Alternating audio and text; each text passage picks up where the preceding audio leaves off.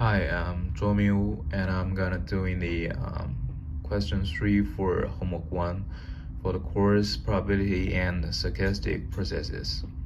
So um, the question tells us um, a digital signal one or zero is transmitted through a noisy channel, and uh, the received data may be different from the signal sent out. So uh, the probability that the transmitter sends out 0 will have a probability of 0.6 and the transmitter sends out the 1 will have the probability of 0.4 so uh, and when 0 is transmitted uh, the probability that the receiver received the 0 will have uh, will be 0.7 and uh, it will receive the 1 with the probability of 0.3 and when 1 is transmitted, the receiver received the 0 with probability of 0.2 and it will receive the 1 with probability of 0.8. So the first question asks us to find out the probability that data 0 is received. Um, so first I'm gonna set four variables. So the first two is um, data transmitted. So T0 as 0 is transmitted and T1 as 1 uh, being transmitted. So, and R0 as 0 being received and R1 as 1 being received. So the question asks us to find out the probability of 0 being received. So is probability of R0, which equals to, there are uh, two conditions that 0 being received, which is, um, the first is 0 being transmitted and 0 being received. And the second condition is 1 is being transmitted, but uh, 0 is received. So the first condition is P probability of R1 on R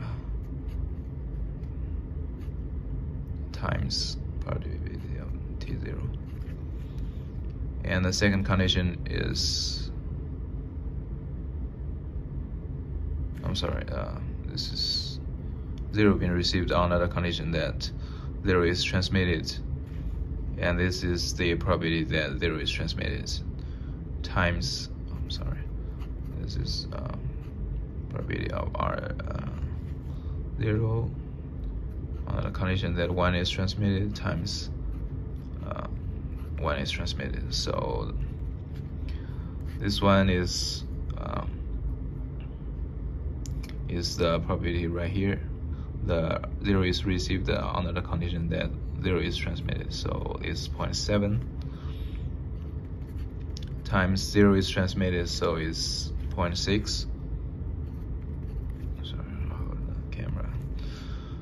and plus this one right here is uh, there is received on the condition that one is transmitted so the probability is 0.2 times the one is transmitted so it's 0.4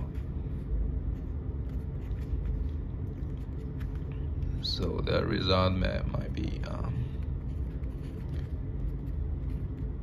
so the result is 0.4 a 0.55, sorry. So let's see the second question. So, so the second question asks us to find out the probability of error, which means the probability that one is received when uh, zero was transmitted, or zero is received when one is transmitted. So there are two, also two conditions. So the first one is one is received on the condition that zero is transmitted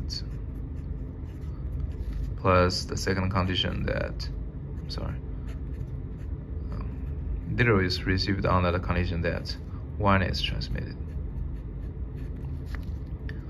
So this uh, one is received under the condition that zero is transmitted is equals to uh, this one. So this 0.3 times 0 is transmitted, so it's 0.6 and 0 is received under the condition that 1 is transmitted so it must be this rule. So it's 0.2 times 1 is transmitted so it's 0.4